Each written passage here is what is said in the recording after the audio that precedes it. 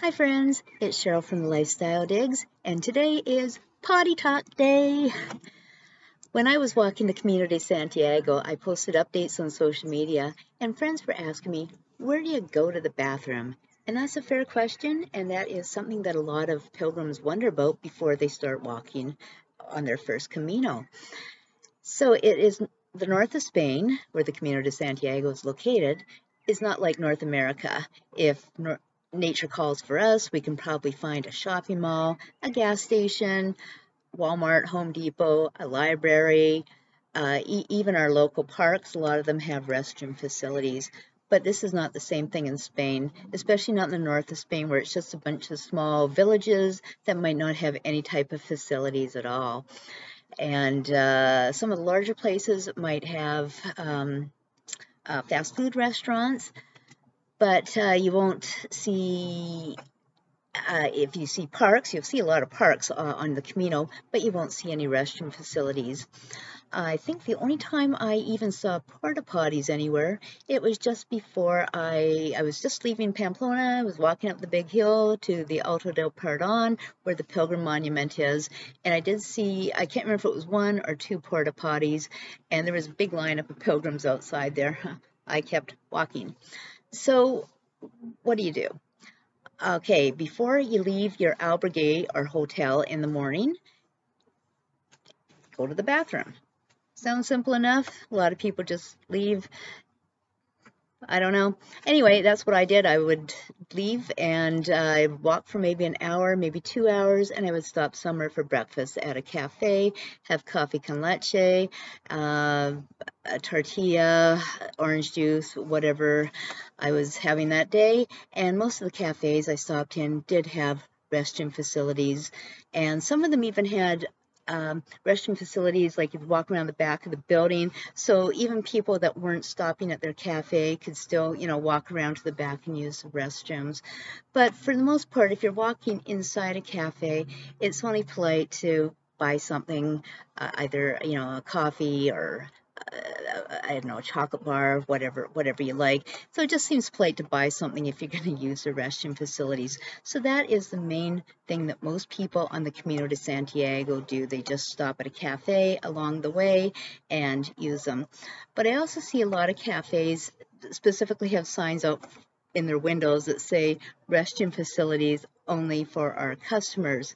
And there was one uh, restaurant that I was in. I was actually stopped there and had lunch, and they had a sign on the door that, uh, again, uh, for the use of uh, their customers only, but they would also charge you, I think it was like 50 centavos, uh, half a euro, if uh, you just wanted to come in and use the facilities.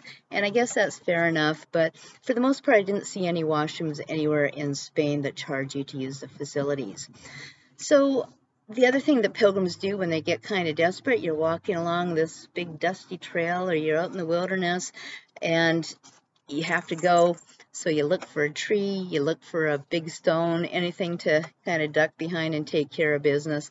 And sure enough, I did see a few pilgrims doing that. They would walk off the path and go somewhere and then they'd come back on the path again. I was walking one day and it was um, it was not a place where there were a lot of trees. In fact, I could see way off in the distance a big tree. And it was a hot day. It was very hot when I was walking the Camino. So I finally got to that tree and I stopped to get some shade and have some water and a snack. And while I was there, my hiking stick dropped. And unfortunately, it don't want to tell you what it dropped in. Just use your imagination. That was pretty disgusting. I also kept um, you know, little wipes inside my backpack, so I was able to clean off my walking stick. But that, that's something that you should definitely carry in your in your uh, backpack is uh, some kind of wipes uh, in case you do have to take care of business on the trail.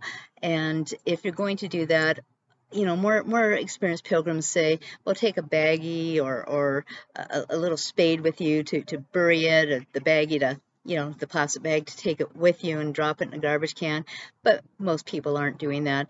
And the other gross thing is that you will see toilet paper or the um, these little wipes pads, you know, they're, they're just littered all over the trails too. So those are the about the only things you can do on the Camino is uh, go before you leave your hotel or albergue in the morning. When you stop to have a, a little break at the cafe, use the facilities there.